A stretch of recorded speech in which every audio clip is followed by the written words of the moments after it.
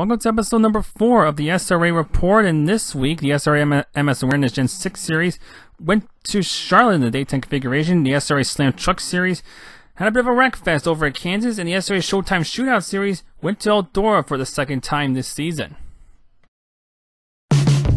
At Kansas, it was Jared Darling on the pole of Richardson's second, Freddie De La Rosa, Ariani, and Tyler Descharme. The top five as the trucks went around for 130 laps. There would be side by side turns, but eventually Marcus would take the spot. But on lap number two, there's a big net collision. Freddie De La Rosa net killed Ariani. That was a huge pile up on turn two that Alex, Connor Anton, Tyler Descharme, Ronnie Norman, Nick Northrup, among others, in this pile up on lap number two. And that's when the wrecks would begin. Ryan O'Shell on lap number 17 gets punted.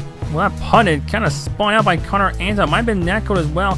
He overcorrects, gets into the wall, and he also gets into Will Klein. That'll be the second caution of the race.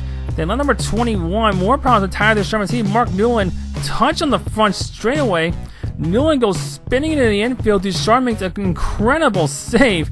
That'll be the third caution out, lap number 21 and then the hits just kept on coming. Kyle Putz gets a little loose out of turn two, but then gets a little bit of help from Lachlan McMillan. He overcorrects and goes head on into the wall. He spins down to the inside. Luckily, no one else would hit him. That'd be the first caution of the race. Lap number 33 after pit stops, Aaron Davis would take two tires, but he would lose the race lead to Marcus Richardson, who used the inside line to his advantage, even though the track is usually one groove and mostly a high side track. Then line number 4, David Shutt gets up, loses it out of turn 4. He then overcorrects and gets into Lachlan McMillan, who bashes into his right side and goes spinning into the wall. That'll be the fifth caution of the race on that number 40. And then it was more problems with Aaron Davis. He got the wall in turn 4. He comes down and gets bulldozed by Ariani. Femi Olan had no place to go, so did Bobby Chain. They collide on the exit turn number 4. And then Tags Nicholas Carrasco and spins to the inside. And now bring out the sixth caution of the race on number 52. Eventually, though, we actually have some green flag runs going, and Bobby Zielinski would start to be a four in Mark Richardson's side. They would be battling out for the lead, but then there would be a near caution on lap number 87, as Mark Newland would actually almost lose it out of turn four. Makes a nice save to prevent the caution from coming out, and that was just as green flag pit stops were starting to take place.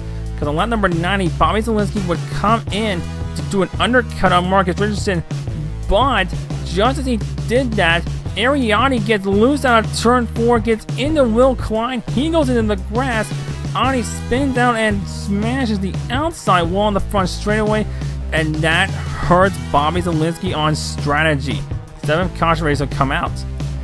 And then as the field coming for pit stops, Frank Del Rosa actually wins the race off of pit road over Marcus Richardson. He would actually take over the race lead.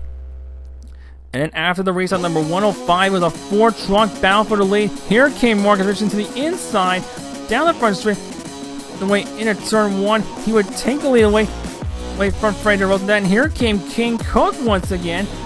He almost gets by Del Rosa, but eventually slide down behind. But eventually, there was a four truck fight for second with Del Rosa Cook, Nicholas Carrasco, you remember had that issues early in the race, and Bobby Zielinski. All these guys were battling out for top five positions. Eventually, King Cook would get by Fred De La Rosa to take over the second spot, and he would actually start to close our Marcus Richardson. The winner from Kentucky was looking to perhaps swipe his second win of the season. But on lap number 125, Josh Robin loses control on the front straight after hitting the wall for turn 4. Goes for a long, long slide and just spins onto the front straightaway. That forces the yellow to come out. And that forces a strategy situation. King Cook and Bobby Zielinski, among a couple others, actually go into pit for tires, but it was a one lap shootout. Marcus Richardson gets a great jump at the start lap number one, pretty much the final lap. They would be scrambling around free four wide behind them in this mess. And eventually Marcus Richardson would take the win, but Kyle Putz loses off a fourth against Nicholas Carrasco, and Bobby Zielinski takes second by passing in the grass. Wild finish at Kansas.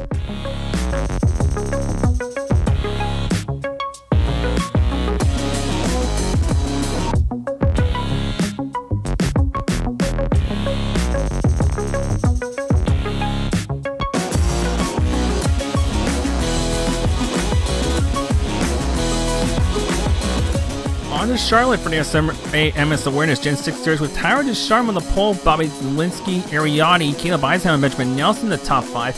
And DeCharme would get the early advantage off of turn two. He would lead the first three laps, but then here came Bobby Zalenski to DeCharme.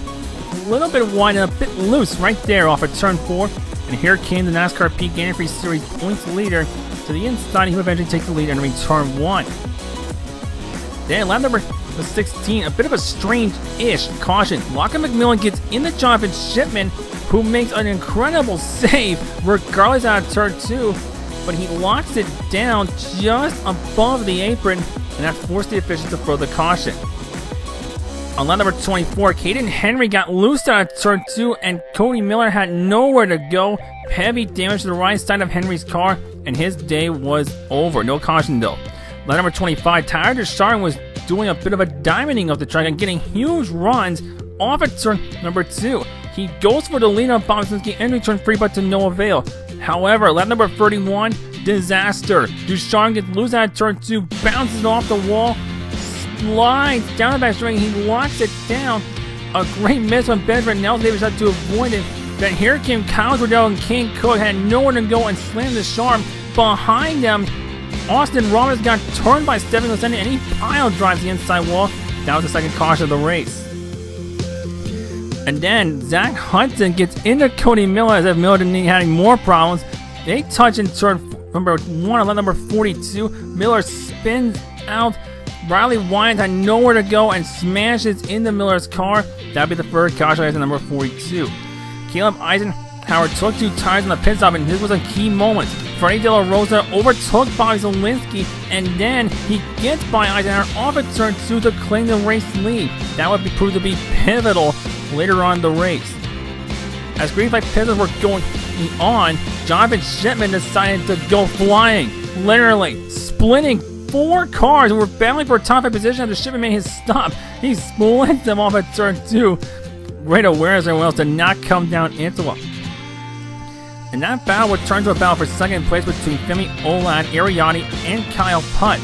As these guys were battling, they were actually catching up to Bobby Zalenski, who was losing ground to Freddie De La Rosa as Zalenski tires was starting to go away on him.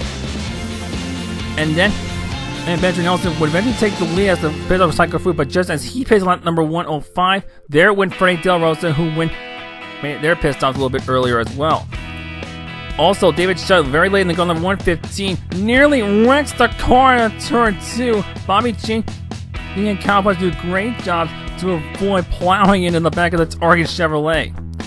And then, very late in the going, Bobby Zalenski was catching Del Rosa, but then here came Mariani, and he makes the pass for second, but eventually Freddie Del Rosa would hang on and take his first win of the SRA MS Awareness Gen 6 Series.